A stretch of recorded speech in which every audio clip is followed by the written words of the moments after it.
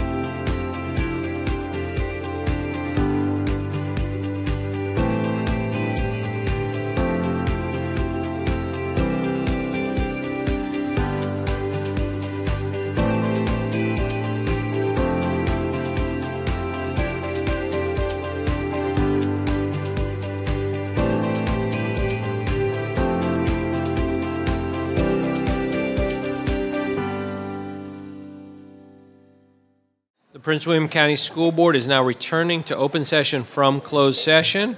Moving on to agenda item um, 8.01, closed session certification. A motion is in order. Ms. Wall.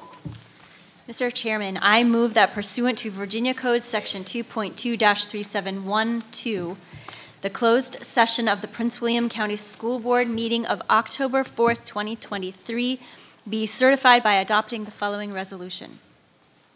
Now therefore be it resolved that the Prince William County School Board hereby certifies that, to the best of each member's knowledge, one, only public business matters lawfully exempted from open meeting requirements were discussed in the closed meeting to which this certification resolution applies, and two, only such public business matters as were identified in the motion convening the closed meeting were heard and discussed or considered by the school board. Do I have a second? Sure, Ms. Jackson? I second. Any discussion? Please vote. Ms. Williams, how do you vote? yes. Ms. Williams votes, Ms. Williams votes yes. vote is seven yes, one absent. Moving on to closed session action item, a motion is in order for 9.01, approval of appointments and releases of specific employees. Vice Chair Wall. Mr. Chairman, I move that the Prince William County School Board approve the appointments and releases of specific employees as presented in closed session. Do I have a second? Mr. Chairman, Ms. Zargarpur. I second. Any discussion? Okay, please vote. Ms. Williams, how do you vote? Yes. Mr. Williams votes yes.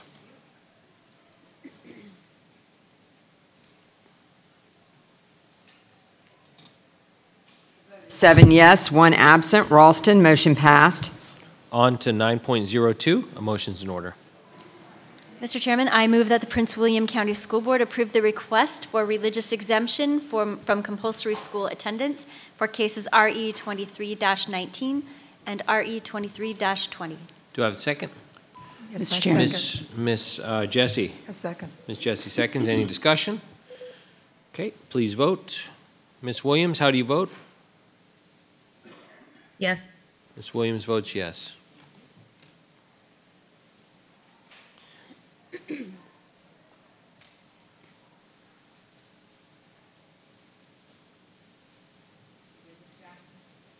The vote is seven yes, one absent. Raulston, motion passed.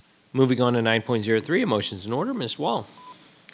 Mr. Chairman, I move that, for the reasons set forth in the Student Management and Alternative Programs Department's SMAPD letter of September 13, 2023, the Prince William County School Board approves SMAP's recommendation to reassign student SRH 24-041 to the Computer-Based Instruction, CBI, program via remote access only, based on charges of unlawful acts in the community. Do I have a second?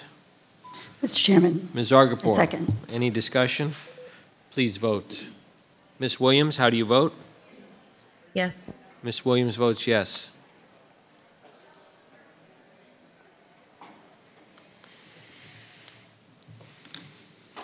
The vote is seven yes, one absent. Raulston, motion passed.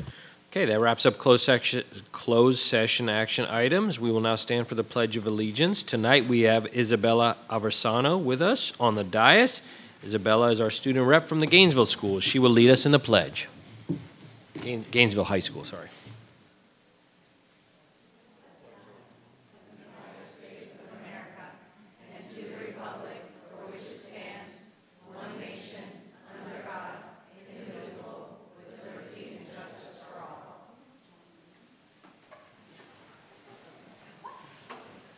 Okay. Moving on, Thriving Futures Focus is an opportunity to highlight the exemplary work being accomplished in our schools that fulfill our vision that every student will graduate with the knowledge, skills, and habits of mind necessary to create a thriving future for themselves and their community. We dedicate this time during our meetings to recognize students, staff members, and schools that have earned an honor award at the state or national level. We appreciate how these honorees have positively represented Prince William County Public Schools and the school board is proud to recognize them publicly for their accomplishments. Tonight, the school board will recognize 12 Prince William County Public Schools that have earned the Virginia Naturally Schools designation from the Virginia Department of Wildlife Resources. This is the official environmental education school recognition program in the Commonwealth. Schools applying for this award must show their efforts both in the classroom and beyond to increase the environmental literacy of their students. Our 12 schools receiving this award have embraced Prince William County's commitment to improving environmental awareness and stewardship by educating students and staff. They continue to work toward the school division's dedication to sustainability, the environment, and reducing the carbon footprint. We begin our recognition with Mrs. Adele Jackson of the Brentsville District, who will introduce our first award winners. Miss Jackson. Thank you, Dr. Lateef. The Brentsville District is proud to recognize Patriot High School and Piney Branch Elementary School. Patriot High School is represented tonight by Cassie Weathersby, sponsor of the Ecology Club and Sustainability Coordinator, and Ecology Club President Corinne Vetter and Vice President Sherilyn Phillips. And Piney Branch Elementary is represented by Principal Stephen Thorne, first grade teacher Roxanne Edwards, second grade teacher Cherie Key, and fifth grade teacher Harmony Bisca. thank you all for being here, and congratulations to both. And I know that Corinne Vetter, you were voted in for Sustainability Council last week, so congratulations in person. Thank you.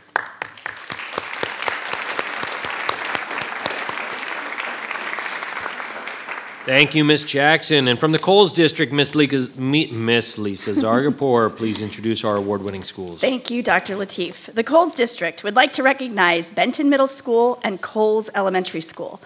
Benton Middle School is represented tonight by Principal Jerry Piacese, Scott Dean, seventh grade science teacher, and Green Team Ecology Club sponsor.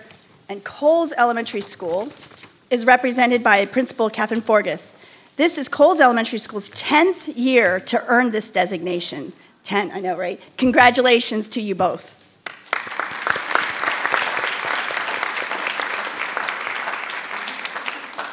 Excellent. Thank you, Ms. Zargarpur. Now I invite Vice Chair Jen Wall, Jennifer Wall, representative of the Gainesville District. Ms. Wall.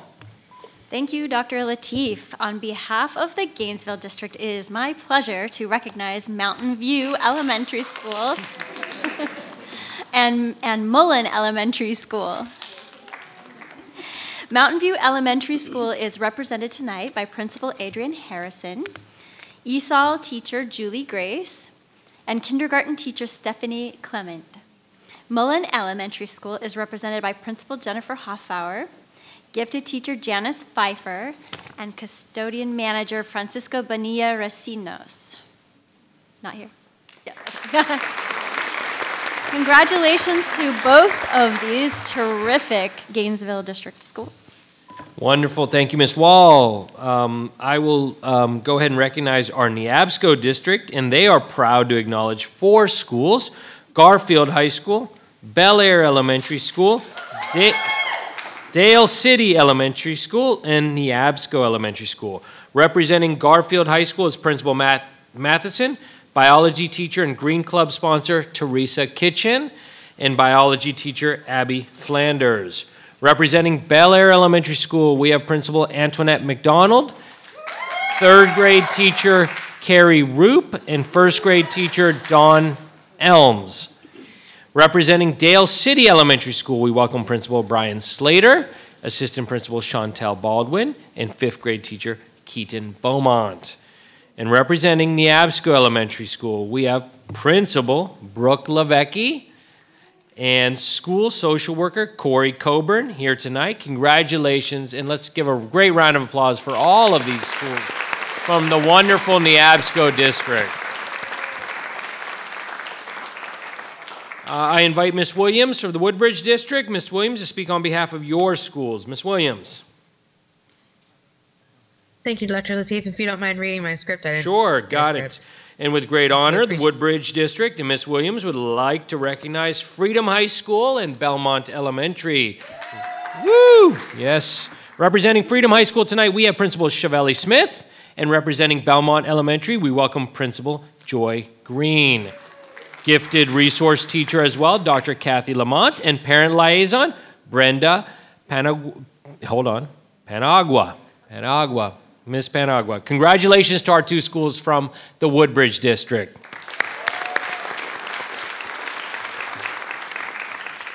In this time, I would like to ask Jessica Weimer, Supervisor of Energy Management and Sustainability of the Facilities Department, and uh, to step forward and share a few words on behalf of our 12 distinguished schools. Ms. Weimer. Good evening, Dr. Lateef, Vice Chair Wall, members of the school board, and Dr. McDade. My name is Jessica Weimer, Supervisor of Energy and Sustainability in the Facilities Department, and on behalf of the 12 schools being honored for their recognition as Virginia Naturally Schools, we thank you for the opportunity to be able to stand before you this evening. The Virginia Naturally Schools program is managed by the Department of Wildlife Resources and serves as the official environmental education school recognition program in the Commonwealth of Virginia. Schools must apply and show progress each year to be considered for additional awards. Recipients exemplify environmental literacy both in the classroom and on the school grounds. Our 12 PWCS honorees demonstrate our commitment to sustainable schools and carry out the PWCS Vision 2025 Launching Thriving Futures strategic plan priorities of incorporating environmental literacy and using the building as a teaching tool. We would like to commend each of the 12 schools and thank their administrators, community partners, teachers, and sustainability liaisons for their effort and support in applying for this honor. All schools being recognized here this evening actively participate in our annual Energy Challenge and have incrementally increased their participation in energy and sustainability program here in PWCS. My team strives to be a system of support for all schools as we provide assistance, guidance, and resources in all things environmental literacy and using the building as a teaching tool. One of my colleagues in particular, Ms. Jeannie Jabera, who is standing here with me this evening, is a champion for all of our students, staff, and schools in the areas of environmental science, literacy, and stewardship.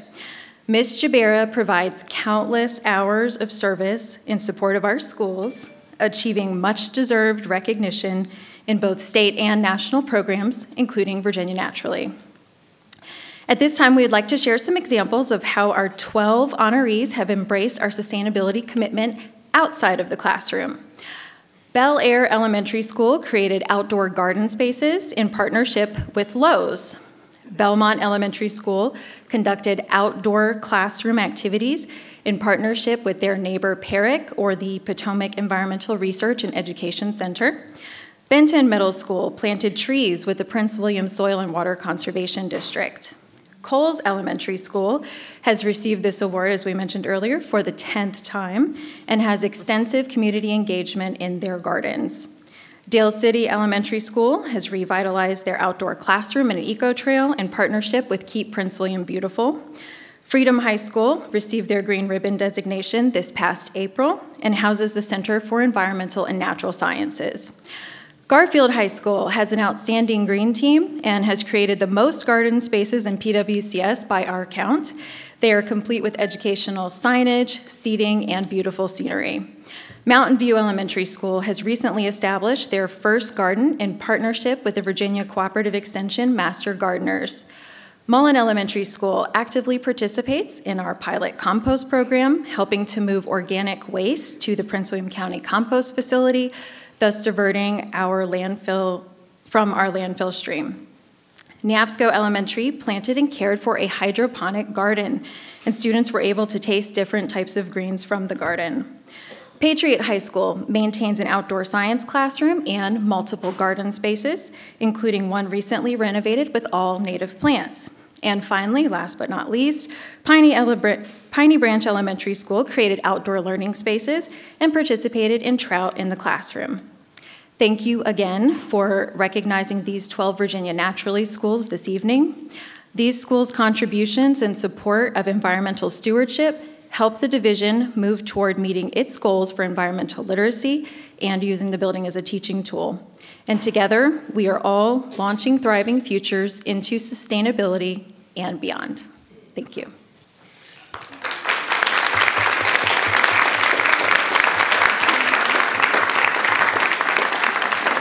Thank you, Mrs. Weimer. Uh, Ms. Weimer, with all those involved, will all those involved in supporting our 12 schools, including family members, stand in recognition of their support also? Anybody in our crowd, please give them a round of applause as well. Well, Ms. Weimer, we've been on this journey a while here, and for all of the schools who are represented tonight, we can't thank you enough. This school division, the school board, three years ago voted on an energy and sustainability initiative, unanimously supported by all districts, everyone in our community, and all schools and leaders, and we really appreciate the work. Dr. McDade, thank you for including this work in the strategic planning document, and you know this this work is so critical to our county moving forward and making sure our students have environmental literacy, and our community does as well. You teach all of us how to be better stewards of our environment. Dr. McDade, I know you have some words. Thank you so much, Dr. Lateef. Congratulations again to all 12 of our Virginia Naturally schools. We're incredibly proud of the work that you're doing. This distinction really highlights our continued work in PWCS to invest and engage in sustainable practices And I would be remiss if I didn't acknowledge our energy management and sustainability team and all of your hard work uh, for working with our schools, the passion that you have in carrying out the vision for sustainable practice um, and being environmentally conscious in PWCS. So we thank you for your hard work and your efforts in supporting our schools and bringing this work to fruition. And thank you each for your commitment to uphold the strategic plan and the vision of Prince William County Public Schools. You make us proud. Yes, very good. Am I missing something? No, am I? Um, okay. Um, hold on one, hold on one second, my apologies. Okay. I'm, I'm sorry. Thank you, Doc- thank you, Dr. McDade. Um, hold on, I'm, off- I'm off. Here we go. My apologies. I am off script. At this time, I would like to request our honorees to come forward for a photo with the school board and receive a small token of our appreciation. We will start with one photo that includes all elementary schools. The second photo will include middle and high schools. Okay. That was funny, though.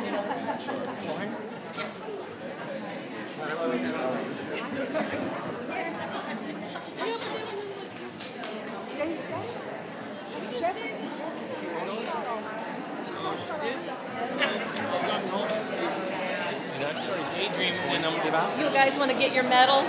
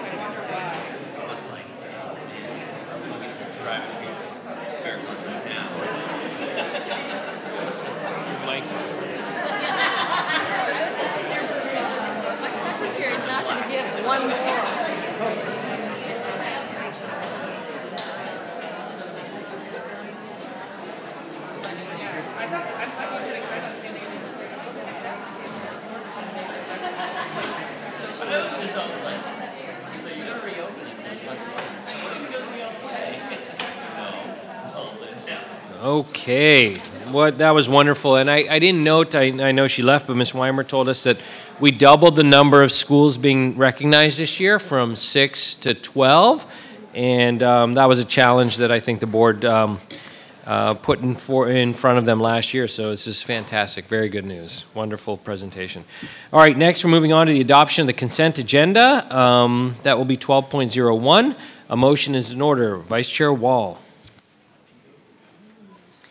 Mr. Chairman, I move that the Prince William County School Board approve the public meeting consent agenda as recommended. Do I have a second? Mr. Chairman, Ms. Zargarpur. I second. Any discussion? Discussion? Jen, Ms. Wall? Discussion? Oh. Yes, I have some discussion. Mike? Sorry. Yes, thank you. Um, I want to highlight um, item 12.10, the speech and debate resolution.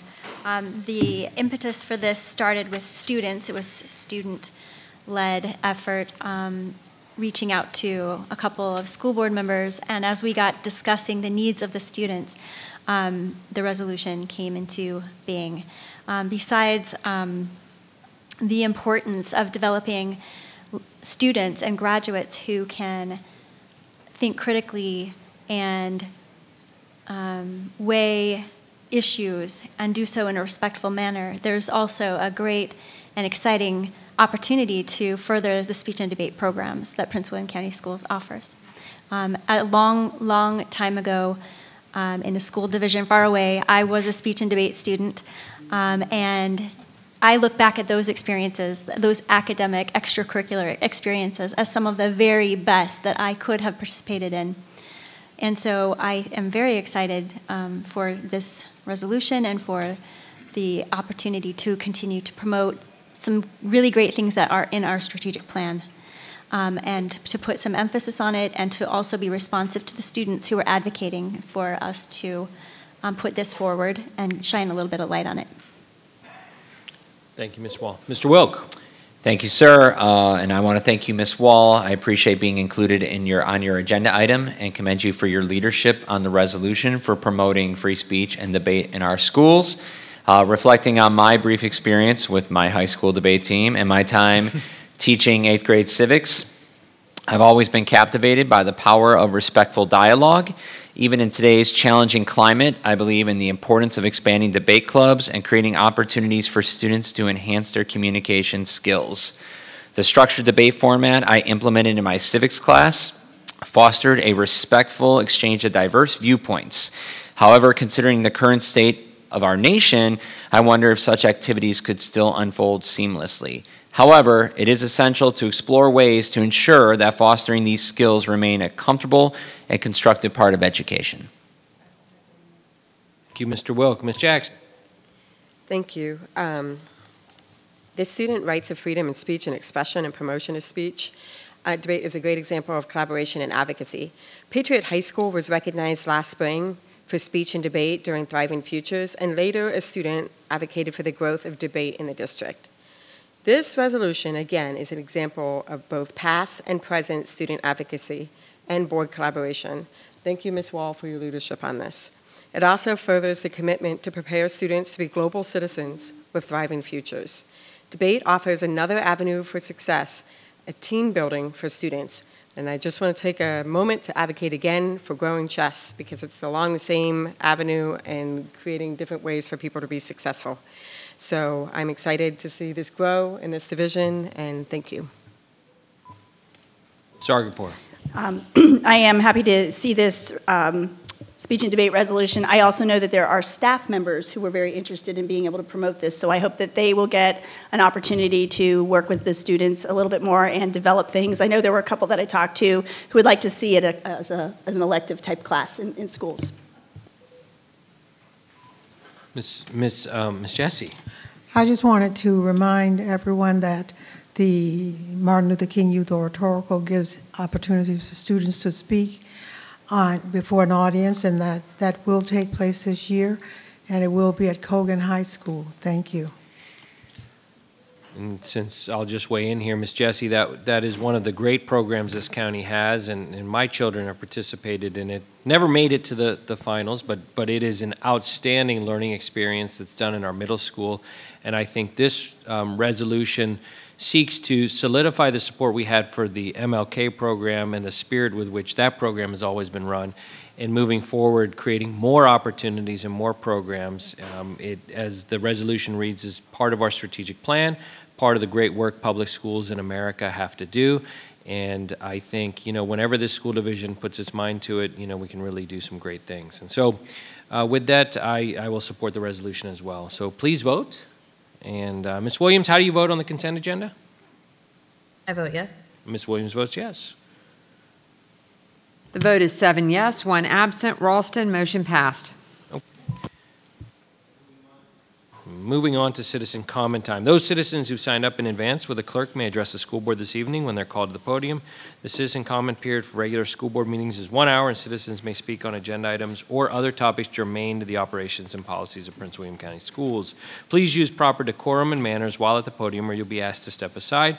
We ask that the audience please be respectful to each speaker and refrain from any clapping, cheering, or jeering to avoid disruption of the meeting.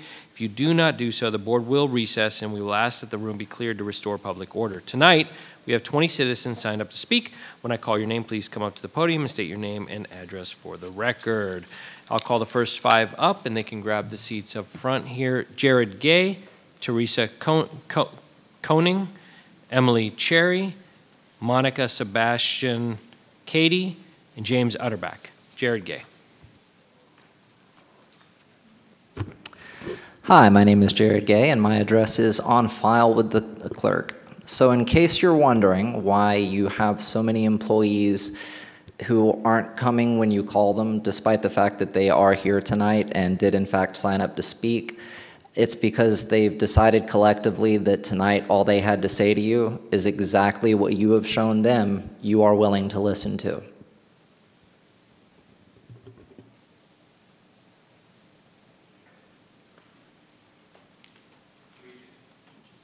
Teresa Koning.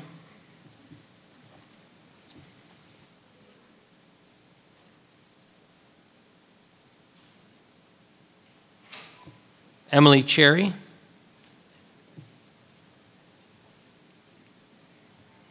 Monica Sebastian Katie. James Utterback. Okay. The next five Katie Jefferson, Maggie Hansford, Richard Jesse, Linda Mitchell, and Brandy Peacher. Katie Jefferson. Maggie Hansford. Richard Jesse.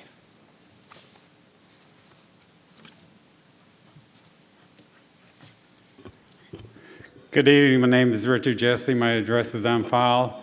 I just wanted to talk to you about a conversation I had at the uh, DMV uh, the other day about private schools. And after I had the conversation, I thought about what the person was saying, how great private schools are.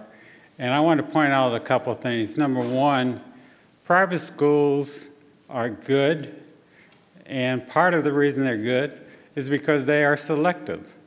They choose who can come to the school. They choose what they want to teach and so forth. So, you know, that that's a distinct advantage. In the public schools, we have to take everybody that comes to the door. That person can be disabled, that person could be queer, that person could be a transgender. We have to take them. Some of the people with the private schools, they don't take them. They won't take them.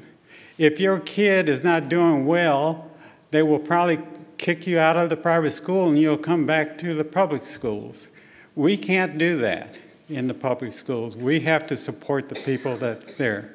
So that's a big difference in that. The other thing I want to talk about just briefly is last fall, there were kids in here that did extremely well at the state finals in indoor track. And I think I spoke at least twice recommending that we look at the possibility of having an indoor track in this county.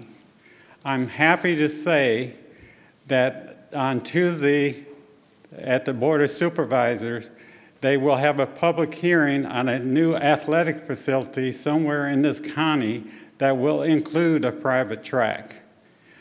Like we had when we had Colgan High School, people said it costs too much money and, and, and so forth.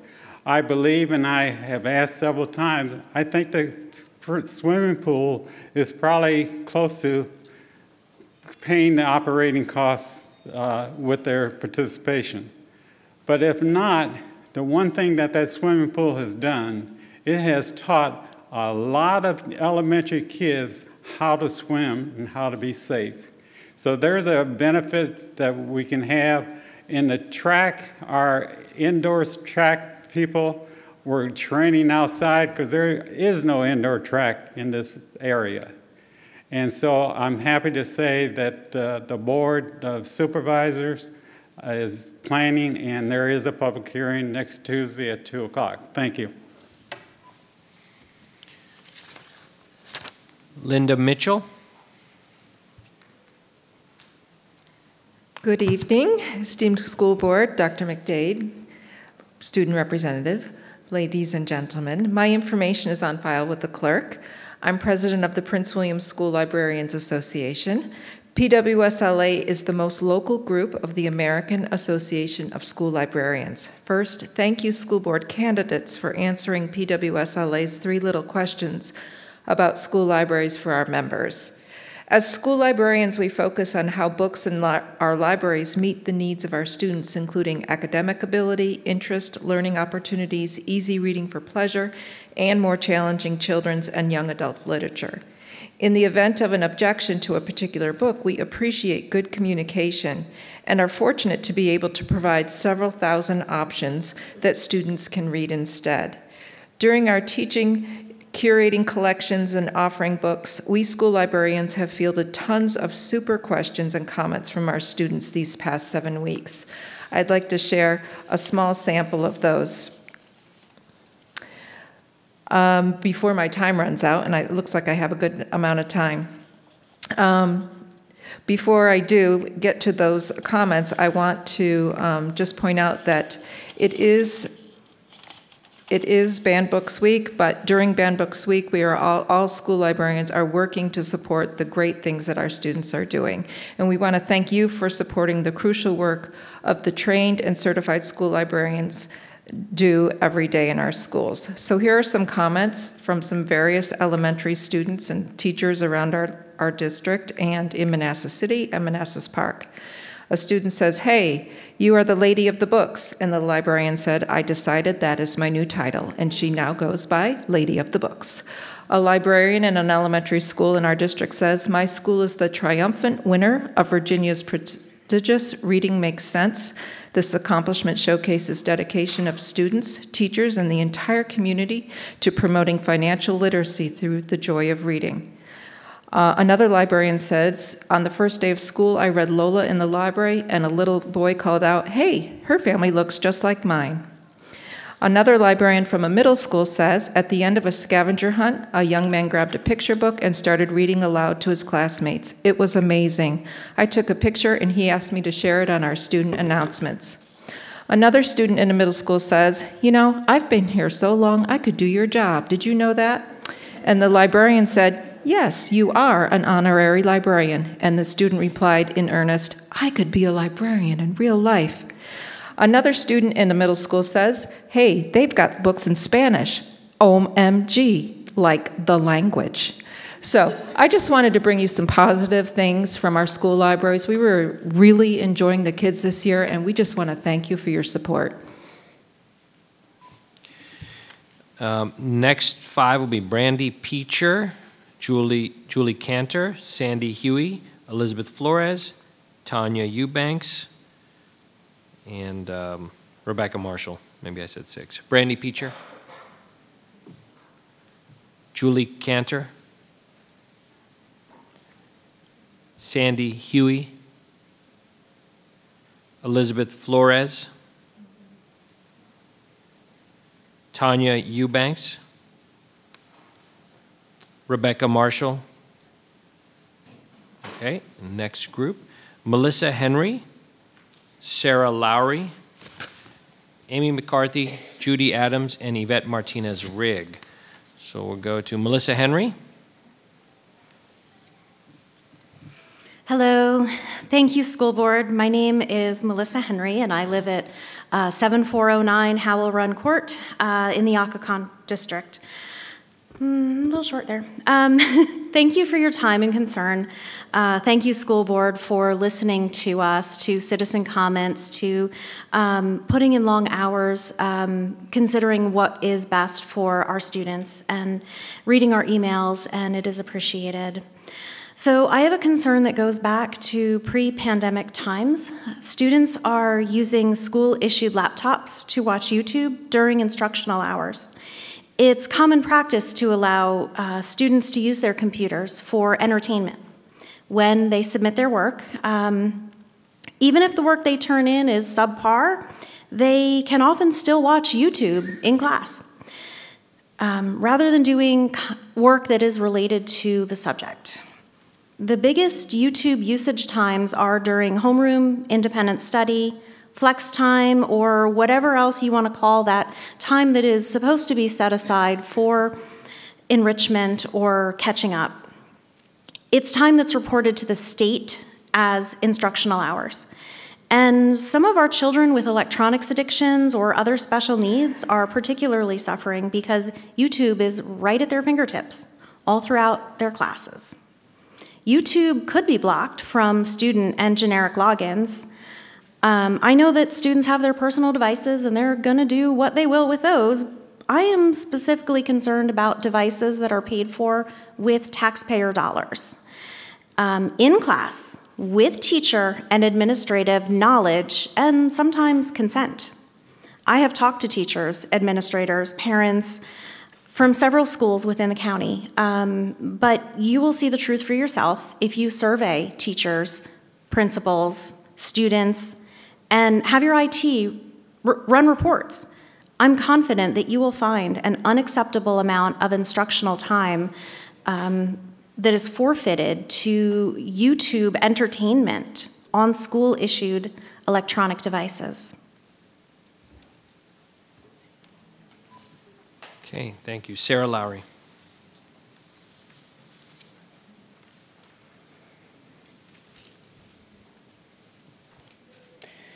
I am Sarah Lowry, living in the Occoquan district, and my address is on file.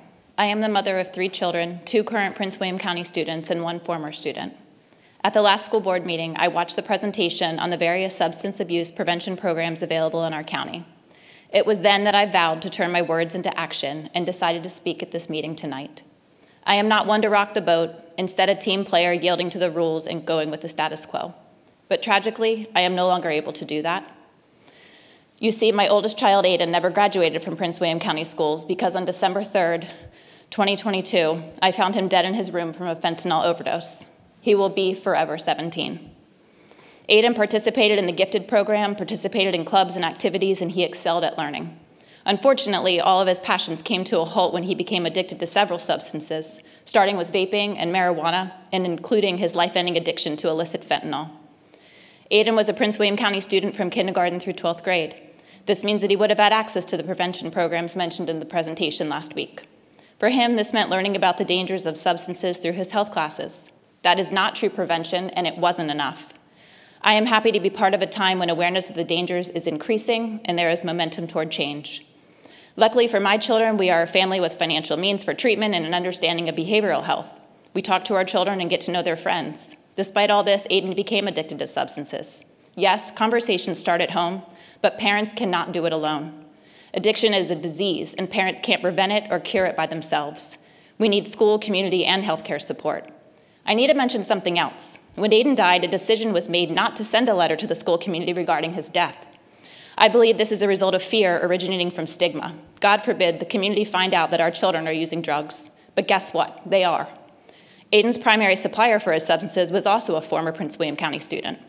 Until we take a stand together talking about this issue in the open, we will never make change. No more silence. No more pretending that this issue is someone else's problem.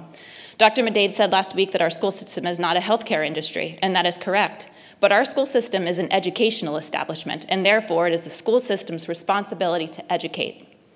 A student will not have a thriving future if they are addicted to substances, or in my son's case, dead. Last week you asked about wish list items. I have them. Allocate money for more substance abuse prevention specialists. I need to make sure that all who are listening understand we have one, one for all 91,000 students. Additionally, the school system needs to allocate money for these specialists to work with families and students from a prevention standpoint. We can no longer afford to wait. One life lost is too many. One of Aiden's final wishes was to convince others not to ruin their lives as he thought he had ruined his. He is no longer here to be that voice, so I carry his message on for him. Please listen to his plea and act now. Thank you.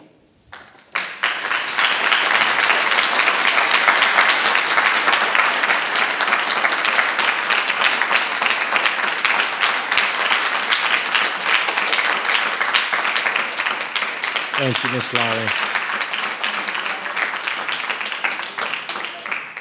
Thank you, Ms. Lowry. Amy McCarthy. Judy Adams.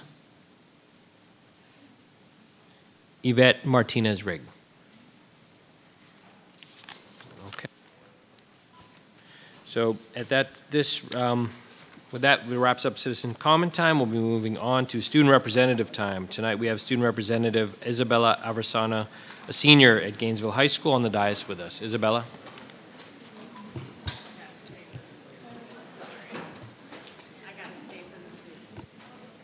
Hold, hold on one second. Wait for the room to clear.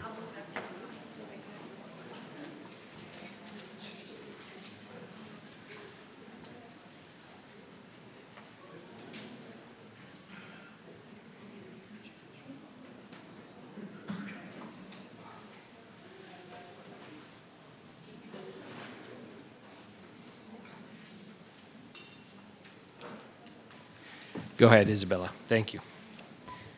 Uh, good evening to the school board, superintendent, and Prince William County community. As mentioned, my name is Isabella, and I'm one of the student representatives this year.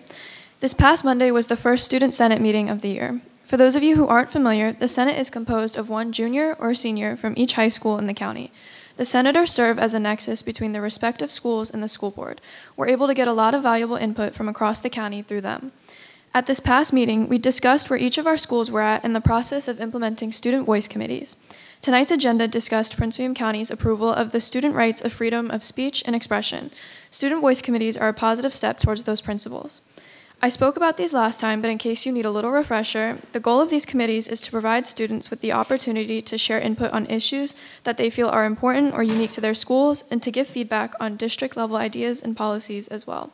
Some schools, such as Osborne Park, Unity Reed, and Hylton, have already had committee meetings, and they have begun to establish norms, regulations, and have also begun to identify some popular concerns. Our goal is that by the end of the year, each high school has a voice committee with at least 10 to 15 members, has met at least once a quarter, and is working with their leadership team to create agendas so students have a seat at the table, and that the committees are diverse and reflect the schools themselves. Some concerns have already emerged regarding the evolved systems, school grading and retake policies, access to specialty programs when applying for high school, experience of students with service animals, and access to advanced academics such as AP and IB classes. Our goal is to investigate these topics further throughout the year, and we are hoping student voice committees will not only generate feedback, but solutions. Students can share info about their experiences by attending student voice committee meetings, getting in touch with their senator, or even emailing me or the other representatives. Thank you for your time. That concludes my remarks.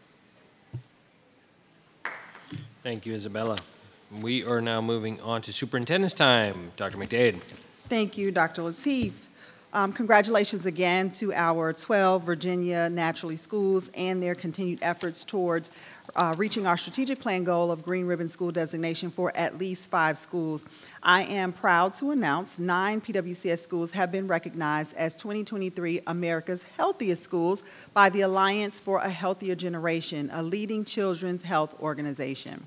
Only 10 schools were named in Virginia. This highly regarded annual distinction is awarded for demonstrating exceptional efforts to prioritize the essential health needs of the school community. These schools meet or exceed best practice standards in one or more topic areas related to the physical, mental, and social emotional health of students, teachers, and staff. Congratulations to the following schools on receiving this nationwide recognition Ashland, Bennett, Buckland Mills, Kilby, Montclair, Piney Branch, Marshall, Victory Elementary School, as well as Parkside Middle School. This honor reflects the important and outstanding work of the social emotional learning coaches and staff throughout the school division. On behalf of the school board and myself, I look forward to recognizing these schools at our next Thriving Futures Focus. I also wish to acknowledge seniors Syke Auger at Osborne Park High School and Joseph Dietrich at Patriot High School for being named 2024 National Merit Scholarship semifinalists. The National Merit Scholarship Corporation announced the names of over 16,000 semifinalists in the 69th Annual National Merit Scholarship Program. These students entered the 2024 National Merit Scholarship Program by taking the 2022 preliminary SAT National Merit Scholarship qualifying test. The pool of semifinalists represents less than 1% of the nation's high school seniors. Congratulations to Sky and Joseph. In preparation for securing thriving futures for our students after graduation, college and career counselors in every high school are scheduling university visits college and career planning, Naviance work sessions, scholarship and financial aid opportunities, and career and self-discovery explorations. Additionally, PWCS will be hosting two college fairs in October. The first one at Freedom High School on October 12th from 6 to 8 p.m., and the second at Battlefield High School on October 16th from 6 to 8 p.m. These college fairs are an excellent place for students to begin the planning process for post-secondary education opportunities with tiny talks, meet and greets with in-state and out-of-state college and university representatives, free application for federal student aid information, and more. Please review our PWCS College Fair website for more information and registration. In September, Governor Youngkin approved the state budget, which allocated additional funds for education. Not only have these additional funds supported our commitment to continued investment in employee compensation through an additional 2% salary increase, which will take effect on January 1, 2024, additional funds will be allocated through the All in Virginia plan to support a three pronged approach to accelerate learning loss recovery, specifically addressing absenteeism, literacy, and learning. Through this plan, the state will provide school divisions with additional funding and resources to include a playbook to re reduce chronic absenteeism, funding to hire and support grades four through eight reading specialists, and in additional investments in high dosage tutoring for students in small groups and an individual setting. And that's on top of the dollars, the ESSER funds that we had already set aside in our uh, recovery plan for high dosage tutoring. School divisions are preparing plans to use this additional funding to accelerate learning loss recovery, and in the coming month, we will be providing more information for how PWCS will leverage this additional support. As we conclude Childhood Cancer Awareness Month, I want to acknowledge the inspiring work our students are doing to raise awareness, support, and spirits. I continue to be impressed year after year with the efforts of our students' philanthropic endeavors toward the significant causes such as childhood cancer. For the sixth consecutive year, T. Clay Wood Elementary School continues the proud tradition of collecting toys for Childhood Cancer Awareness Month to donate to Inova L.J. Murphy Children's Hospital. Similarly, the sixth annual Lego Drive is in full swing at Haymarket Elementary School, where students are trying to beat the school's 2020 record of collecting 207 Lego kits, also to be donated to Inova Children's Hospital for children undergoing cancer treatment. These are just two examples of the amazing and personal efforts being made at schools around PWCS. Raising awareness is about continued dedication to a noble cause such as research to end childhood cancer. I hope you will consider supporting your local school's crusade for our brave warriors in the fight for their lives. At this time, I would like to invite Associate Superintendent for Special Education, Dr. Ashley Ryer, to provide an update on special education. I want to thank the board for your continued um, push um, as we work to improve across the board all programs, but especially special, special education, um, all of your feedback, your questions, as we have been um, working with this new office under Dr. Ryer Um, there's a lot of updates that she'll share in the work that we have been doing, but I do want to thank you each for being a partner in that work along the way, um, bringing forward any concerns that you might have to be addressed, and staying informed and engaged with all of your questions and feedback. Dr. Ryer? Good evening, Dr. Lateef, Vice Chair Wall, members of the board, and Dr. McDade. This evening's presentation provides an update from the Office of Special Education. I'm joined by the directors who lead the respective areas within our office Dr. Darwin Barker, Director of Tiered Interventions and Supports, Dr. Amy Holub, Director of Special Education, Specialized Instruction, and Dr. Wendy Martin Johnson, Director of Special Education Programs and Development.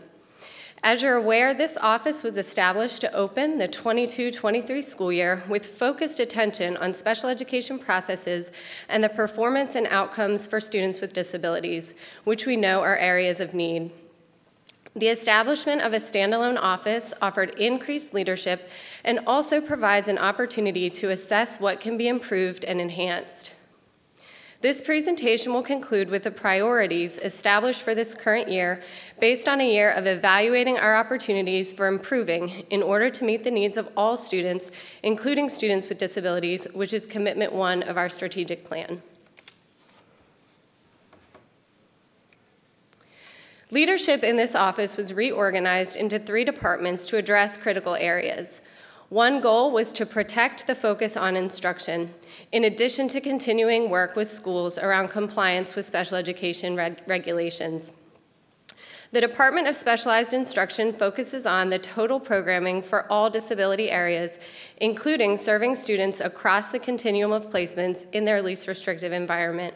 In other words, maximizing opportunities for students to be educated among their general education peers. Specialized instruction also leads our parent outreach and family engagement efforts, including the Parent Resource Center and other programs that provide support to parents as they navigate the special education process. Finally, this department includes our early childhood special education instructional programming and oversees the services that are provided to our youngest learners with disabilities who are children ages 2 to 5. Work accomplished this summer uncoupled early childhood instruction from the child find process so that there could be a dedicated focus on both both finding children eligible for special education services and making sure that they are provided with high quality instruction in order to be kindergarten ready to the greatest extent possible. The Department of Programs and Development oversees procedural support to schools and families, as well as the Child Find and Eligibility process, which consists of PWCS's responsibility to evaluate and determine eligibility for any child where there is a suspicion of a disability.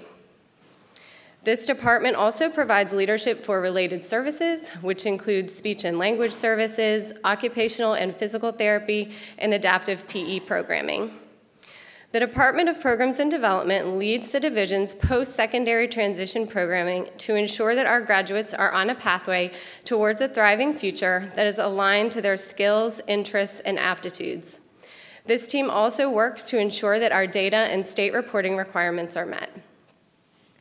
The Department of Tiered Intervention and Supports leads the division's work around a multi-tiered system of supports, or MTSS, which is a framework for identifying students who are struggling with academic, behavior, or social emotional skills early and providing them with an intervention that matches their need.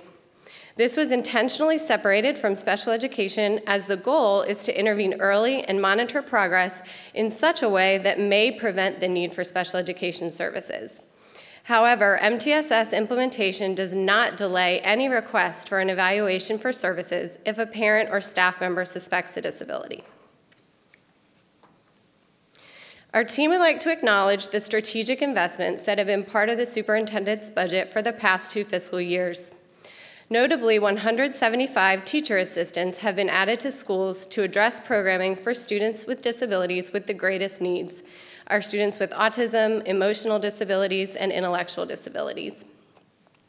Additional assistive technology, behavior specialists, and adaptive PE teachers are serving students across our schools. The Parent Resource Center position was upgraded to expand parent outreach and family engagement in addition to the PRC. An increase of procedural support staff through grant funding allows for increased support to schools through working with teams on their campuses with a focus on developing high quality IEPs. This is especially important for developing the skills of our new teachers and administrators. Strategic investments have also allowed for additional work based learning sites, the ability to administer audiological assessments for students within PWCS instead of having to contract with outside providers. Similarly, the addition of in house division counsel reduced our need to outsource and allowed for the procedural support staff to be more hands on in working with staff in schools. Finally, in response to advocacy from stakeholder groups to include the Special Education Advisory Committee, a parent that is led and composed of parents, all high schools received funding to sponsor unified sports participation, and all IEP case managers received a $1,000 stipend for the additional paperwork and timeline responsibilities associated with the IEP process. Additional strategic investment highlights include our Child Find staff, which is growing in response to an increase in referrals for our earliest learners, and each middle and high school has a dedicated department chair to oversee special education at their school. On this side, you will see highlights from the specialized instruction team during the 22 23 school year. As we work towards increasing the number of students receiving special education services who are accessing general education settings, peers, and curriculum, all schools completed an inclusive practices self assessment. The Differentiated Instructional Practices Conference held this summer continued these efforts with a nationally recognized speaker in the area of co teaching, as well as supporting students who are duly identified, meaning that they receive special education services as well as English language learner services. Approximately 30% of students with disabilities in PWCS are also English language learners. This office hosted a conference for parents in February with presentations on various aspects of the special education process, instructional strategies, and community resources. This year, the Parent Resource Center is up and running with six events offered in the month of September and seven more planned for October, with many more to come. Finally, with leadership devoted to preschool instruction, a research based curriculum is being implemented, and classroom teachers are focused on meaningful children interactions, which is how our youngest learners learn best. Programs and development highlights include increased training of school staff around special education procedures, during the 22 23 school year, we saw a significant increase in the number of staff trained in IEP best practices, the administrator's role in the IEP process, and Section 504 plans. This is in addition to job embedded professional learning and on demand support that this team provides to schools. The discipline process for students with disabilities was revised and regulations were updated to ensure that anytime a student is removed from the school setting beyond 10 days, they receive special education services that continue to meet their needs. The team and procedural support is also continuing to develop resources for schools and parents to increase understanding of the regulations in practice. The Department of Programs and Development had additional accomplishments in the area of post secondary transition. Our transition specialists work with schools to support students with a variety of next steps after high school, including students who are college bound and need assistance with the process for applying for accommodations. Additional highlights focus on our students who are transitioning to employment.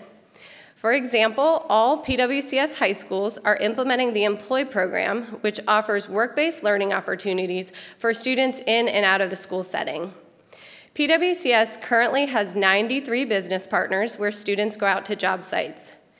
Project Search continues at the UVA Medical Health Center, and PWCS has opened a homegrown site at Todos Supermarket where an additional 10 students are receiving real time job training across a variety of areas at that business. The team hosted an annual transition fair in March of 2023 where community agencies came together to make connections with families. Two of our schools are being recognized at, as pilot sites for the I'm Determined project, with a PWCS graduate serving as the lead mentor. We continue to leverage community partnerships, and this year have brought partners from Project Search into three of our high schools to help develop job success skills for students in our level two classrooms.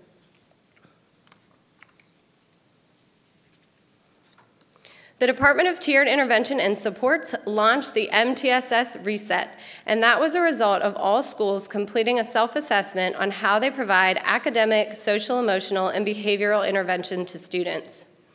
The implementation of positive behavioral interventions and supports, or PBIS, includes training on restorative practices. School and division staff have been trained and will use strategies to build relationships and strengthen students' connectedness to their school community in an effort to prevent code of behavior violations. Behavior support continued with revisions to our restraint and seclusion regulation, which notably also includes additional prevention training with a focus on de escalation, positive behavior supports, and strategies. Lastly, MTSS addresses students who are struggling in reading with the launch of a cross departmental team to lead this work.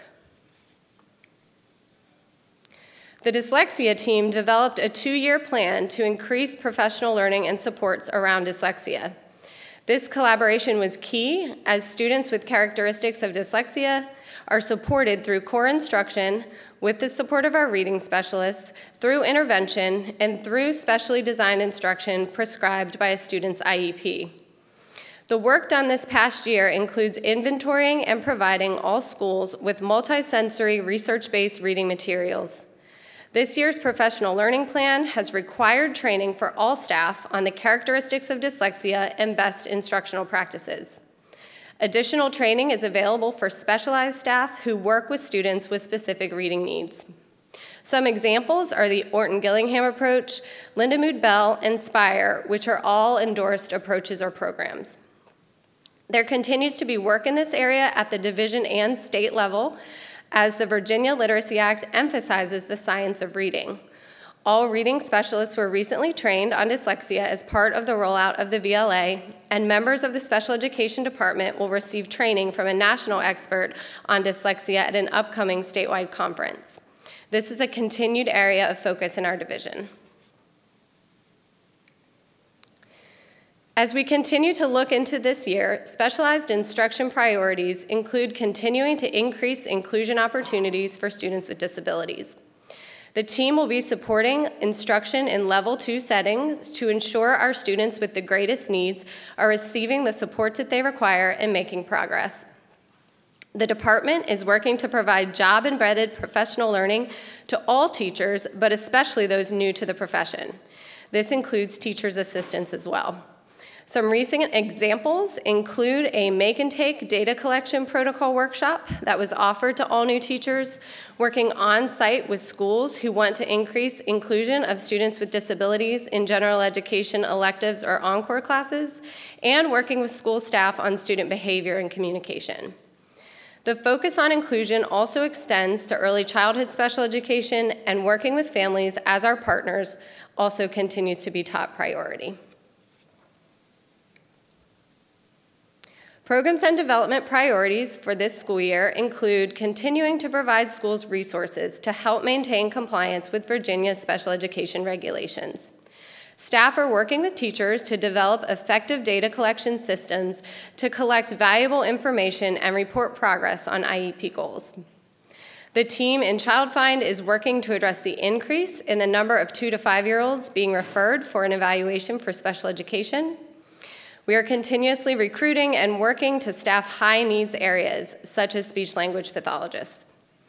The work and focus on post secondary transition will also continue with enhanced partnerships with career and technical education to offer more inclusive opportunities for students preparing to enter either the workforce or post secondary education. MTSS work will continue as schools are supported to implement the framework for identifying students, providing the right intervention, and monitoring progress. The team will continue to evaluate the tools and resources being used for intervention. A goal for implementing behavior supports and interventions is to reduce exclusionary discipline. especially for particular student groups such as students with disabilities. Dyslexia work will continue with strategies embedded into the division's broader implementation of the science of reading, as well as the development of a PWCS literacy plan. The practice of explicit phonics instruction will benefit students with characteristics of dyslexia at all three tiers through core instruction, intervention, and through special education services. Finally, as you have heard in prior presentations, PWCS has a laser-like focus on on-time graduation as one of our wildly important goals. The MTSS framework will be used to assist high schools in reducing barriers that stand in the way of graduation. This concludes our formal presentation. The directors and I are here to answer any questions that you may have.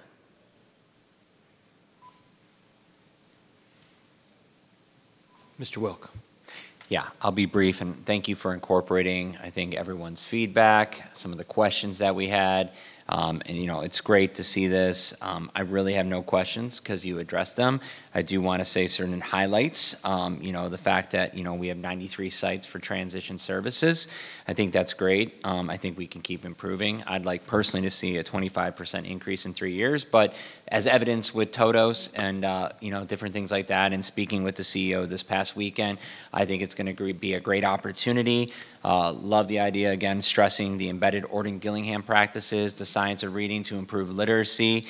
Um, and then I talk anecdotally, you know, when I go to my schools, I always make it a point to go into the self-contained classrooms because, well, that is my world. And, um, and it's great to see a lot of the progress I see and a lot of the, um, you know, you mentioned inclusionary practices. You know, I wasn't even aware um, when I went to my son's back to school night that you know Potomac Shores Middle had inclusionary gym classes, uh, PE classes, uh, you know uh, some of the other classes, some of the more CTE focused classes. So that was great to see. And then I was at back to school night at Dumfries in a self-contained room, and uh, the teacher was presenting to the parents, and I was just um, floored with the number of resources, especially some of the digital resources we have for the parents uh, to take a hold of. So I just wanted to add that and be very brief on just some feedback. Thank you. I'm, I'm going to jump in just on Mr. Wilk's point. I, I think this, uh, the addition of the work with Todos and other programs like that adds on to the Project Search we already do at um, UVA Prince William Hospital, which is an amazing program and uh, absolutely, you know, first in class for the work they do over there. And so I'm glad um, the the division and your office is working to expand this program. I'm very excited about this and you know, this is um, one of the strategic priorities we have and, and really appreciate that work. I think Ms. Sar- yep. Yeah, no, I get it. I didn't, she didn't have her hand up, did she?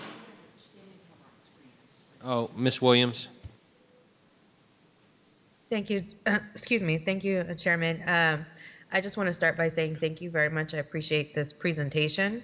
I know that this is a high level presentation and not all inclusive of everything we do special education, um, but I definitely feel like the public uh, really needed to know all of the um, updates that we've had in the school year and the reorganization that had, special education has undergone. It's undergone so many changes since I've been on the board, and I appreciate the new level of organization and structure. Um, I also want to congratulate uh, Todos and others who are working with us as a division and partnering to ensure that our students, when they graduate, um, have the skills that they need to go out and be professionals in the workplace and are acclimated into uh, the workforce right out of the gate.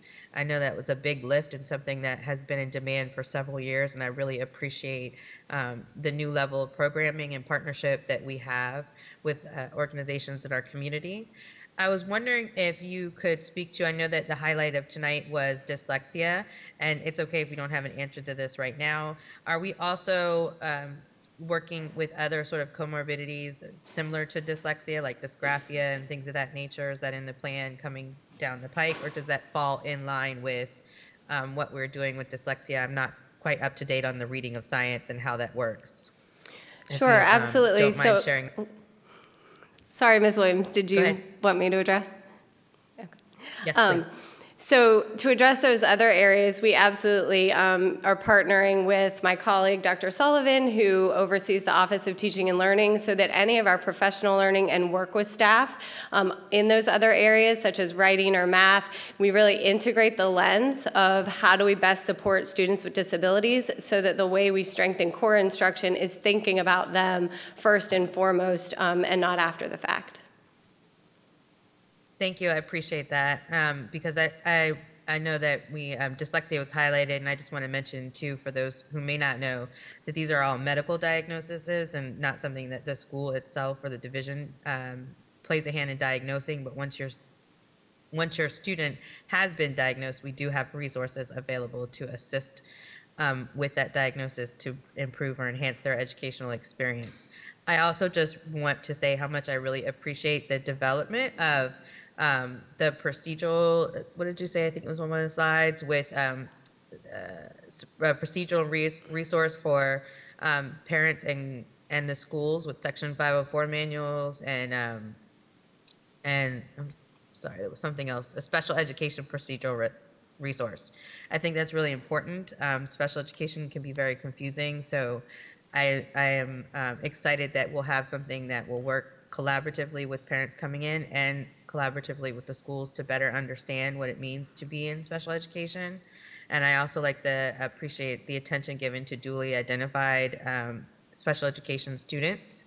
I'm wondering if in later in the year that we would be able to, as a board, have an additional special special education update on the progress and how it's going with the new organizational structure and what has become of um, these manuals and updates that are forthcoming. Thank you, That's Ms. all I have. Williams. Thank you. Thank you, Ms. Williams. Um, I think I had, I'll go to Ms. Jackson, or let's go to Ms. Jessie, then Ms. Jackson, then Okay. whoever else. I want to thank you, for, thank you very much for this very comprehensive presentation. You know, we asked a lot of questions during the two-by-two, and I appreciate your patience with uh, us on that because, you know, special ed is my, my background, and I've looked at the scores. I'm results-oriented, and I would like to see us have a SMART goal for improving our performance at the um, SOL level. I'm not sure we shouldn't break it down because some of those, the ELD kids have 90 IQ and then you've got speech and all this. So I'd like to look at those breakdowns. I'm very pleased with the tier two, tier two intervention program that you have in place and uh, the outreach into the community. I just want to thank you and the superintendent for bringing forth a plan for special ed that includes learning and includes active participation by students and awareness. I'm a little bit concerned about dyslexia. I'm not sure if it's not the new term that we've come into. You know, I've been here for so long and I've seen so many terms that lead to, um, you know, and every year there's a new term, but uh, I just want to make sure that we are providing the right training for teachers. And uh, one of the things that someone brought up tonight was the use of computers. And I, I don't know, I've heard this so many times, especially with special ed kids and various kids. I'd like for someone to look into the fact that there seems to be a lot of computer use in some of these schools. I'm not sure if it's accurate or not, but could somebody just look into that? I'd appreciate it. I want to thank you for a very good presentation. I know you thought that Loree and I were going to ask you a lot of questions. We asked the questions during the two by two. Thank you for your patience. Ms. Jackson. I, um, thank you, Chair Lateef.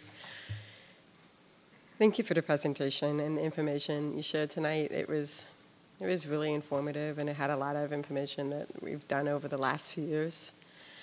I have a, um, like one follow-up question, but I just want to just say thank you to all special educators, including those who are in the room right now, instructional assistants, paraprofessionals, related service providers, families, and members of the diagnostic team for evaluations. Special educators must know the curriculum law while documenting, while providing research-based instruction, while advocating for all students and writing solid IEP goals with multiple stakeholders, and while loving our students and our families. So as one special educator to another, I thank you, and I thank you for this presentation. I also want to thank you, Dr. McDade, um, and I really mean this, like from the bottom of my heart, for prioritizing and reorganizing special education. It was needed, and I appreciate it. So um, my one question that either please answer tonight or please answer in the future, whether or not you have the information, has to do with the strategic plan and the um, dyslexia goal by 2023, 2024, all teachers and assistant principals. Do you want me to read it or do you know it? Is it the one that refers to training and professional learning? Uh-huh. Yes. I- It's kind of long, so I was just wondering if I could get an update on where we are on that, that goal, either now or in the near future. We, we can, we can go back and, and take a look at, you know, over the past year, because we've started, there's been training ongoing, it's not just starting up now. Um, so we can go back and look at where we are and come back with some, with some hard numbers. That would be great, I appreciate it. Thank you, and again, thanks for the presentation. I, I know I'm looking forward to more conversations. Thank you. Ms. Zarg.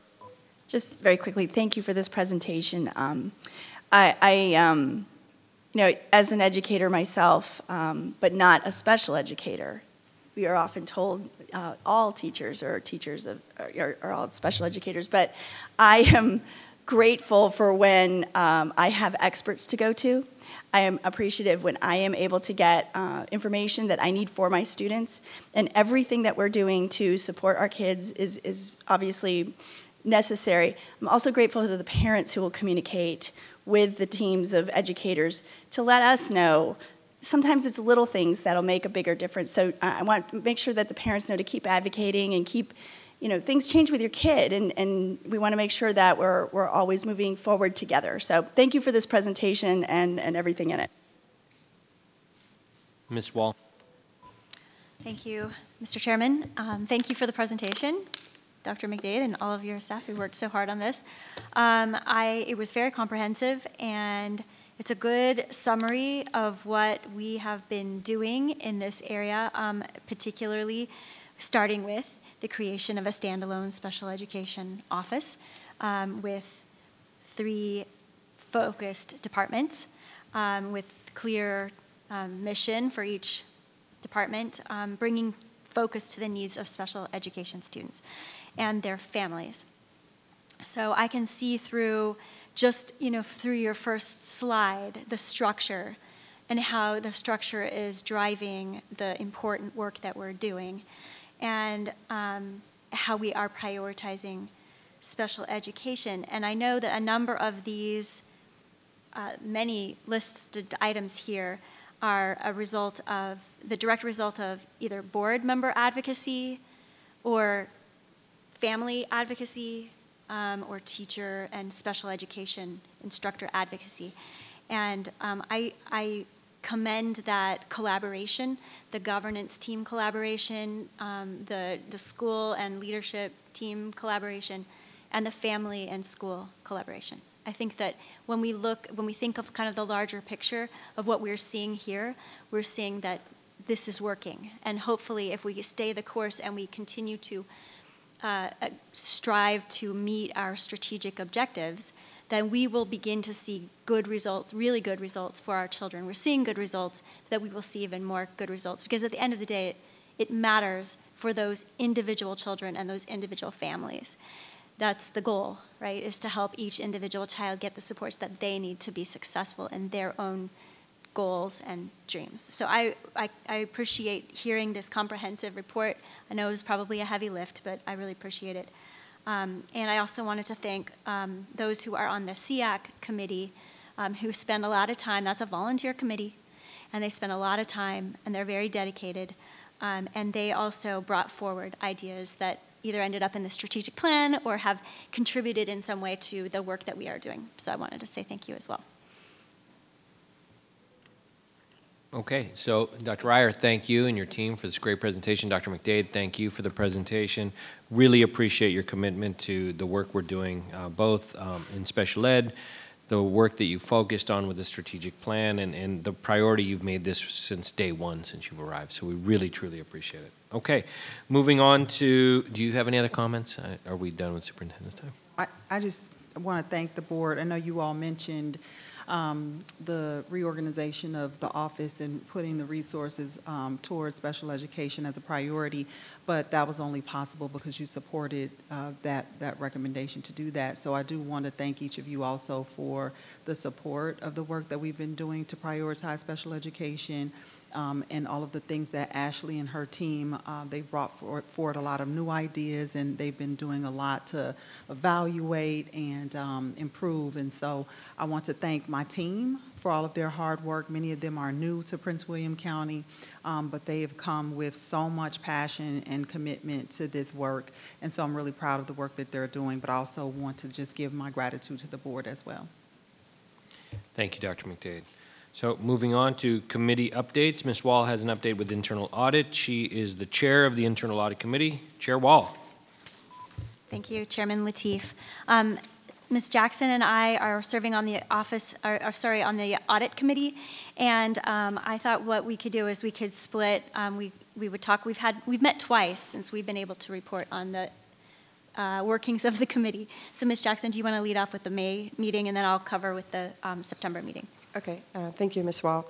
Uh, we did meet in May of um, May 16th, but Gary Manis was out and um, at the time of the meeting, so the meeting was brief. Um, we discussed that we do have a, still have a fraud hotline, and I'm just going to give the number, which 703-791-8993, which is accessed uh, 24 hours a day, seven days a week, and callers can remain anonymous if they're calling from an outside line.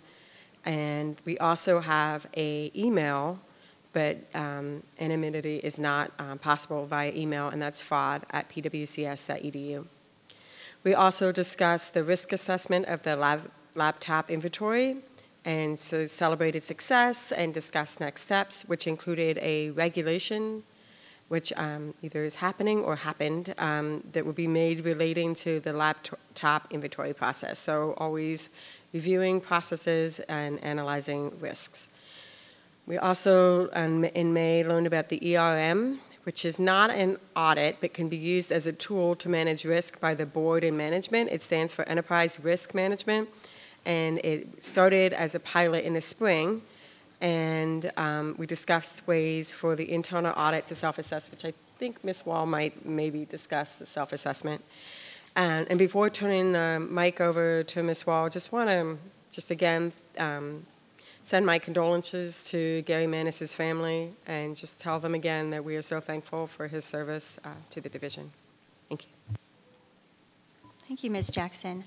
Um, I also echo that to the Manis family. Um, Mr. Manis served Prince William County Schools as its chief auditor for a, a long time, and he did a fabulous job. We miss him. Um, on September 20th, the Internal Audit Committee met, um, and we um, heard a couple of updates of status, a status update of audit activities. Um, their uh, audit always conducts um, some school-based audits, and so we received updates on some of the schools that had been completed. Um, we also got an update on an athletics audit, a fundraising audit, and a little bit more information about the enterprise risk management efforts that the school division is, um, or that the audit committee is working towards, and risk assessment um, for the internal audit plan is an ongoing process right now. Board members and um, executive cabinet leaders are being asked to ascertain um, their perception of risk for the school division and to compile those. The auditor is leading that um, effort. And we also, um, and we'll speak, I'll speak a little bit about this later, but there is, there was an Office of Internal Audit self-assessment, which is a great thing always to do. Um, and that process has led to a couple of changes that we are proposing for the uh, policy that governs internal audit. Um, lastly, one of the bread and butter work uh, workings of the uh, auditor is to conduct school audits, and we also discussed prioritizing how we select schools for, um, for those audits um, a little bit differently than how we have done in the past. So the audit committee will meet on November 14th. That's the next day of our meeting. And if there are any questions, oh, I guess at this point, this is just a committee update, so we'll just end with that. Yeah, okay, thank you. Thank you both. We really appreciate it, and um, thank you for all the hard work you guys do in audit, because Miss Jessie and I know how fun that committee is. Isn't that right, Miss Jessie? She loved every minute of it. Okay, moving on to, um, uh, well, we- we'll move on to board matters here. This is revisions to the 2023 school board meeting calendar. Uh, 1701, a, uh, a motion is in order. Ms. Wall. All right. Um, Mr. Chairman, I move that the Prince William County School Board revise its previously adopted meeting calendar and approve moving the December 6th, 2023 school board meeting to Tuesday, December 5th, 2023, at the request of the superintendent due to a scheduling conflict and remove the joint meeting with the Board of County Supervisors that had been tentatively scheduled for Tuesday, December 12th, 2023. Do I have a second? Chair. Ms. Jackson. I second. Okay, any discussion? Okay, please vote.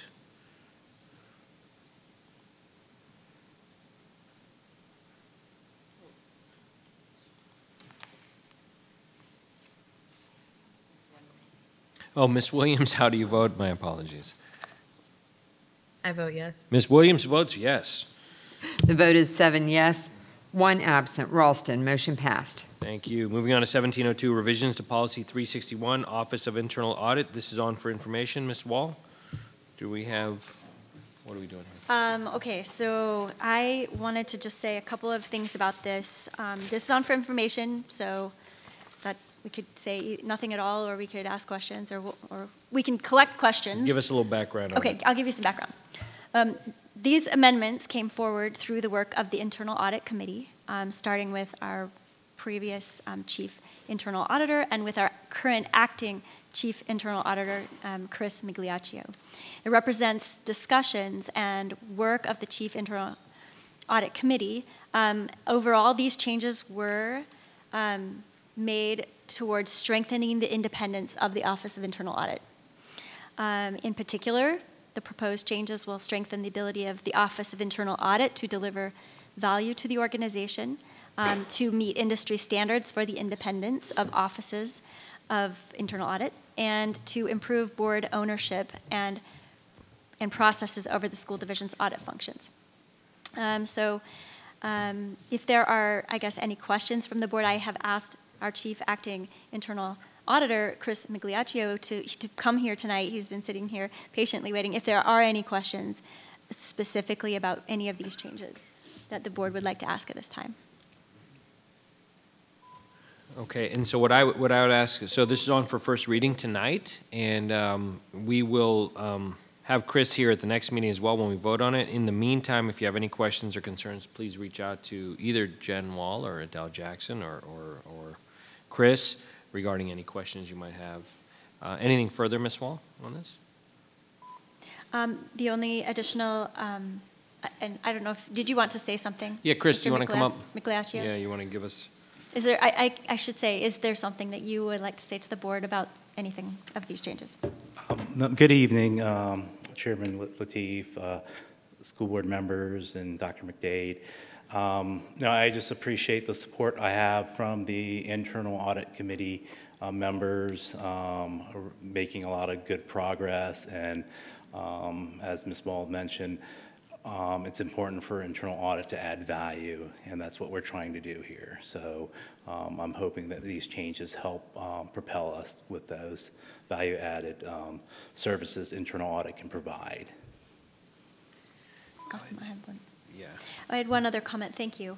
Um, One other comment I, that we could consider, we don't need to consider it necessarily this evening, but it would be whether we want to add a, a couple of citizen appointees um, to the audit committee, not as voting members, but as maybe subject matter experts or as um, somebody, you know, with background in accounting or audit with a financial investigatory background or something like that.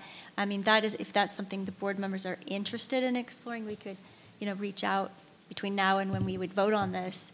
Um, that's an amendment that could be, that's a change that could be made to the changes that we've already made, but it's not currently in there.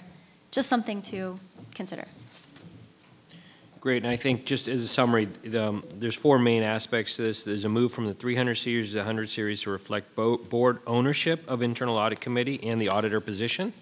Removing operational management as a voting member of the internal audit committee to comply with the level of independence expected by industry standards. Adding an additional board member to the internal audit committee and creating an annual evaluation requirement for the auditor similar to that of division counsel and the ombudsman.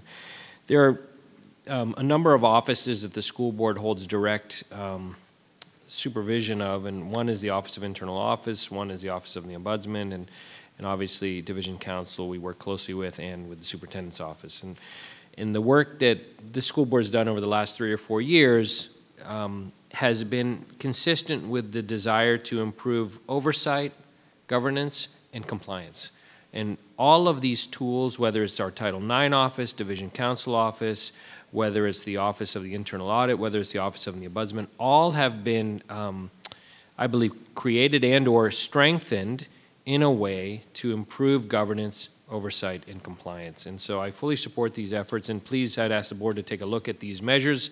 And if you have any questions or concerns, please reach out to Chair Wall or Ms. Jackson or Chris. We really appreciate it, or Division Counsel. Um, any other comments on that? Okay, moving on, we will move to board matters. And tonight we'll start with Mr. Wilk, Mr. Justin Wilk of the Potomac District. Thank you, Mr. Chairman. Uh, just, I'll be pretty brief. Uh, this is still back to school season. It is winding down on Thursday night, I think, for all of us. Um, and so, uh, you know, it's usually two a night, uh, start at one and at the other. Uh, and I've enjoyed my time since the last board meeting. Uh, I've been to Potomac Middle. Pattie Elementary, Montclair Elementary, Covington Harper, Swans Creek, Triangle, Henderson, Dumfries, Mary Williams, and Ashland. Two more to go tomorrow night, and that will um, encapsulate the entire back to school season in the Potomac District. Um, a couple other fun events that I did. Uh, Falcon Bruin Fun Run, the annual event, uh, was on Saturday. Uh, great turnout. Uh, my own son and I ran the mile, not the 5K. We've reduced. I've reduced. And he said, Dad, let's go run the 5K. And I said, No, we're good. We're good. So uh, we did the Falcon Bruin Fun Run. Um, and then let's see, there was also, I'm sure Miss Williams is going to highlight this, there was a, a great event. Uh, Potomac Middle School had a robotics day. It was like a kickoff day to middle school robotics. Uh, they had brought back high school uh, students who had been part of middle school robotics teams had courses, classes, a lot of hands-on experience uh, for the kids. So that was great. It's great to see our, our robotics program thriving, uh, especially in the middle schools. Then uh, Covington Harper had a Rock Your School event last week, uh, which I was able to appear and show up at. And I think overall, I'm actually surprisingly done early again. So thank you. Good night. Ms. Zargarpur. Thank you, Dr. Lateef. Um, so yes, it's been a busy back to school, um, back to school night season. Uh, one of the challenges uh, for all of us is we, if we have more than one school on one night, it's sometimes hard to get to all of them. So um, I, this past couple weeks, I've been able to go to Rosa Parks, Yorkshire, Loch Lomond, Westgate, Benton, and I believe uh, tomorrow night is the last of mine as well. And I have a concert to go to. So concert season is starting. Miss Wall, we have to get our concert uh, schedule going. Um, I plan on holding office hours next Wednesday, October 11th at the Panera on Liberia Avenue, starting at 6.30. I'll put a thing up on my social media and you can email for a time. Um, I have met with uh, some parents in the past couple weeks and um, discussed whatever issues they, that were coming up for them, and uh, some teachers as well, just to hear what's going on uh, and what, what we need to be considering as a school division. And um, sounds like, for the most part, uh, if you don't tell us about a problem, we don't know it exists. So I appreciate those of you who do let us know when things are not going quite right so we can make sure we get eyes on them and get them fixed. Uh, I'm hoping that VDOT will help with the um, I learned last night up in Manassas there's uh, some, some road work that is impacting traffic to getting people in and out of school at a timely fashion. So I'm hoping VDOT will finish that work quickly. Uh, I hope everyone has a great week. We are uh, heading toward the end of the first quarter. I cannot believe it is going this fast. So make sure you get those, those homework assignments done, those, those papers turned in, whatever it is you got to do, make sure you get it done. Have a great week, everyone. Well, Oh, my God. We're going to, we're to go to Miss Jackson, and then Miss Williams, I did not forget about you. You will be after Miss Jessie. Miss Jackson. All right, thank you. Uh, last week, I attended 12 back-to-school nights, and I'm thankful for the time that educators put in their presentations, connections with staff, and the late nights for everyone. I'm also thankful um, to T. Clay Wood and Haymarket for their initiatives to support um, and bring awareness of childhood cancer um, through the Toy Drive and the Lego Drive. This month is um, ADHD Awareness Month, Dyslexia Awareness Month, and Virginia Disability History Month, and the timing of tonight's presentation is perfect. I think this month is a great reminder of the importance of inclusion in history and curriculum, and to have goals to create a space and lessons that are universally designed to meet all learners. Next week, I believe it's next week, is Custodial Service Employee Appreciation Week. So thank you to all custodial service employees and to help maintain a clean, safe, and um, environment, and for the vital role you play in making connections with staff and students. Thank you so much. I know that every board member up here brings a unique perspective and background. I've said that this platform is a position of privilege a position with the potential to see, address, collaborate to break down barriers. I've attempted to use mine to take down barriers like advocating for universal design playgrounds or special education department chairs. So I'm just going to take a moment and reflect. I recently had an IEP meeting for my own kid, and reflecting afterwards, I'm so thankful for the educators that sit around the table, the knowledge and compassion that they bring. I know that bias still exists against those with disabilities. I've experienced it as a student and recently as a school board member. And I have, in full transparency, which is probably not the best in politics, a lot of mama guilt knowing that my son will experience it too. So, with that, I'm proud to be a former special education student. And I'm proud of my son and thankful for his educators, including related service providers. I just want to say love and respect to all y'all and have a good night. Thank you, Ms. Jackson. Mr. Good evening. I wanted to deviate a little bit, and I'll talk about back to school nights uh, next at my next my next meeting. Uh, I wrote an article in the uh, school board uh, our school board board minutes, and I talked about what's happening with this performance. I have heard so much about how we're not performing and how we need to wait. It's going to take us years. But someone forgot to tell people in the Occoquan district. And I want to share some things that have happened in the Occoquan district. First of all, looking at the adjusted data, nine of our schools out of the 12 schools had a 90% pass rate in reading and seven in math. And I wanted to also talk about a little bit about one school, but I'll wait a little bit later. I wanted to talk a little bit about Prince William County School. The source of my data is Quality Profiles, which is VDOE, and SchoolDigger. If you haven't gone to SchoolDigger, please go to SchoolDigger because it ranks school divisions, and schools by standard scores. We are in the 20th percent of 212 11 schools and we are 40th, and we're above Fairfax, we're above Montgomery County, and I want people to know that Prince William County Schools is doing a great job. I want to talk about one school in particular in the uh, Occoquan district, that's Old Bridge Elementary, and I think I have a slide for that particular school. Could you put that up for me?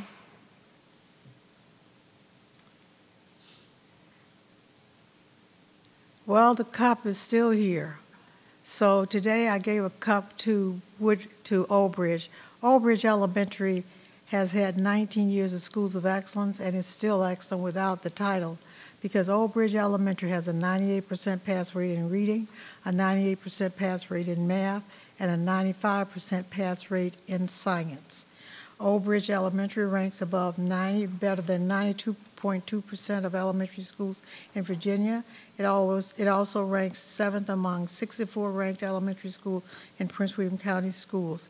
There are schools out there, and Occoquan has done some wonderful things, and I'll be meeting with Occoquan later. Westridge is a 90-90-90 school, 92% pass rate in reading, math, and science. And so I want to say that all of you with all the doom and gloom, this lady has come in this county and she has made a difference because we moved up and, in school district. What I love about school district, it doesn't have all these parent comments. It just has pure data. We're doing a great job in Prince William County, and so I have, to, there's an old expression in the South, when you talk about schools not doing well for Prince William County School, that dog is not gonna hunt. Ms. Williams. Thank you, Mr. Chairman. Um, I also attended a lot of back-to-school nights, uh, including Rippon, Fredlin, Kilby, Featherstone, Potomac, View, Marumsco, and River Oaks. I just want to give take this moment and give all of those schools um, a special shout out. The information presented at Back to School Night and the collaborative partnership to keep parents educated on how they can help their students learn and grow is just outstanding. And I'm always impressed, always impressed when I go to my Title I schools. Uh, I also had the opportunity to attend a VSBA Legislative Advocacy Conference, uh, Title IX Best Practices, and a webinar with Dr. Coons since our last meeting. As Mr. Wilk uh, stated earlier, uh, this past Saturday, I was at the VEX uh, and VEX, I, VEX 1 and VEX IQ Fun Day. I always appreciate seeing middle schoolers, well, robotics at any level, but I always appreciate seeing the middle schoolers. Uh, their challenges uh, are a little different than elementary and high school. It was wonderful to see some of the Yellow Jackets and other high school robotic students providing classes and education uh, to our robotics, our middle school robotics teams. Shout out to Porter, who had six teams there at the event.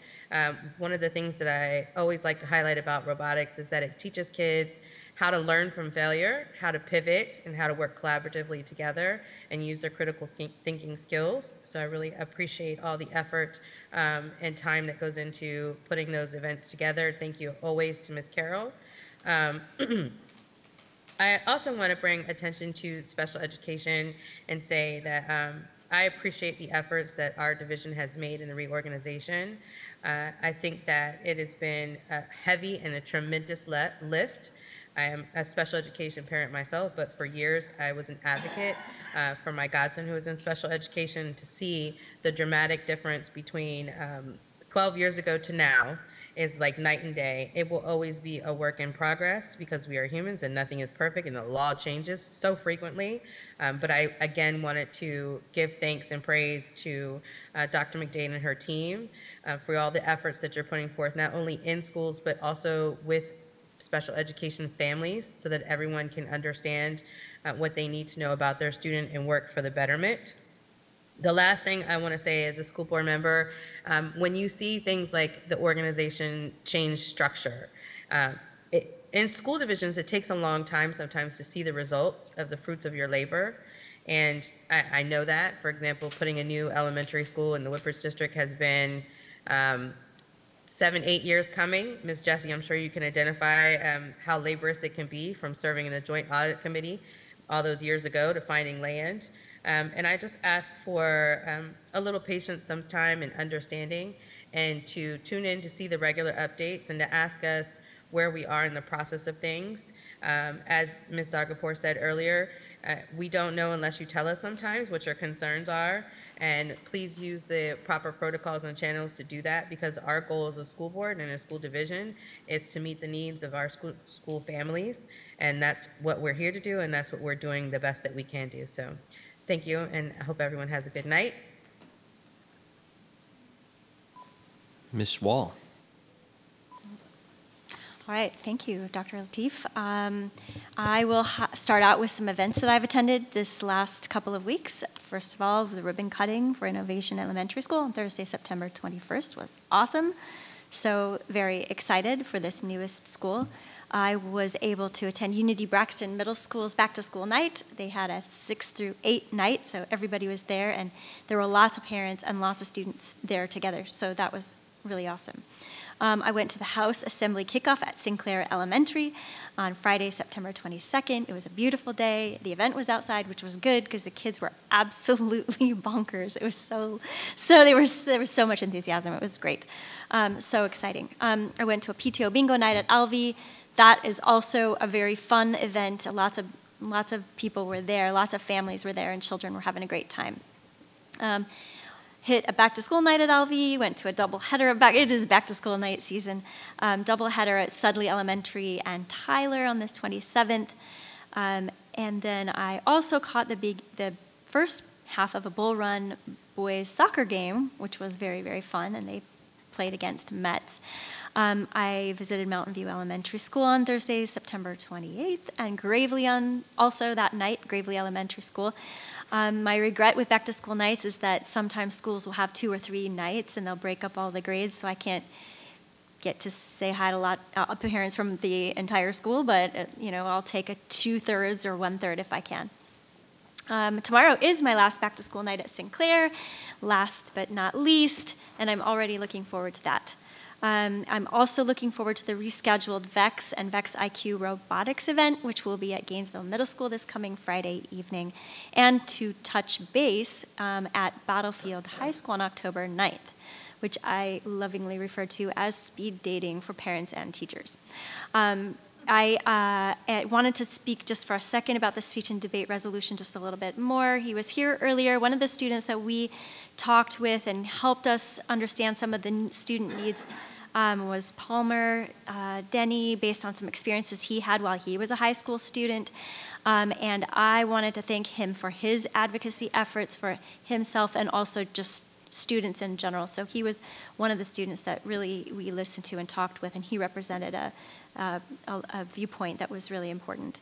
Um, let's see, I'm going to end by saying I attended a meeting with the state superintendent. It was an online meeting and we discussed the All In Virginia plan that Dr. McDade talked about briefly in her comments to help students across Virginia for focusing on tutoring, um, focusing on attendance, and focusing on literacy and learning. So I'm really excited about that initiative and how that's going to help Prince William County schools. And I want to close with a thought from Henry David Thoreau, and I'm going to borrow a little bit of Mr. Wilk's time, a little bit of Zargarpur's time. And it's, no, it's not a long quote, I promise. It's from Walden, um, and this is the perfect time of year to quote Walden. It's a quote from Walden. Um, but he said this I learned this at least by my experiment that if one advances confidently in the direction of his dreams and endeavors to live the life which he has imagined, he will meet with a success unexpected in common hours. So it's my prayer that we can do just that, that we can meet with success unexpected in common hours here in Prince William County Schools. And thank you, everybody, and have a great night.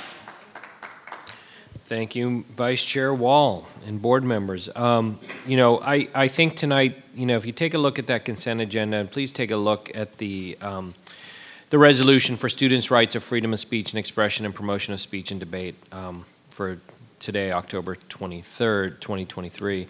Um, you know, building on what Miss Jessie, you know, Miss Jessie is taught in the school division, she's worked in the school division, and she knows the talents that our students have. She speaks lovingly about it regularly, about the commitment that our students um, give to the schools and, and what potential that they have that's both realized and unrealized. And one of the great programs is the MLK, Martin Luther King Oratorical Program, which I'm just a big fan of. Really a great program. Um, our middle schools participate in it. And, and one of the things that when I came to the board was, you know, can we get more of our schools participating in more of these great activities, whether it's robotics, whether it's MLK, whether it's speech and debate. And I, like Mr. Wilk, I, like Miss Walsh, was on the debate team in my high school. Um, you know, and, and as we look at counties that we're competitive with, whether it's Fairfax, Loudoun, Montgomery in Maryland, or DC, you know, we're looking at programs that they have as well.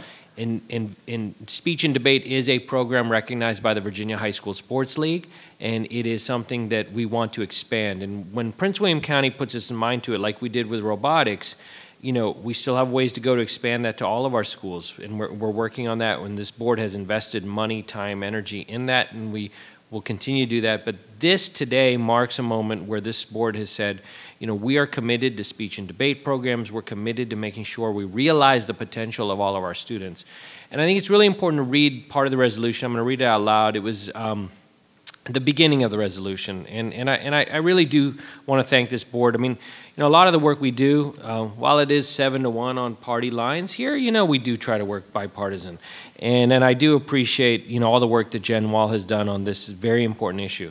but I think it's important to read the first part of the resolution out loud. Whereas the Supreme Court of the United States recently expressed in the Mahanoy Area School District versus BL by the through Levy, um, by and through Levy, 210L, whatever, all these numbers. Um, this is a statement written by Justice Stephen Breyer in the um, summer of 2021. America's public schools are the nurseries of democracy. Our representative democracy only works if we protect the marketplace of ideas.